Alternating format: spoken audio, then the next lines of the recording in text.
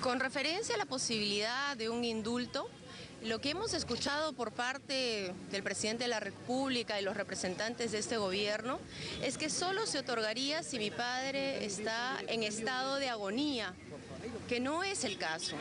Mi padre es un hombre que tiene 74 años, que lleva más de 6 años privado de su libertad injustamente, que ha tenido 5 operaciones en la lengua y que es un paciente con cáncer de alto riesgo.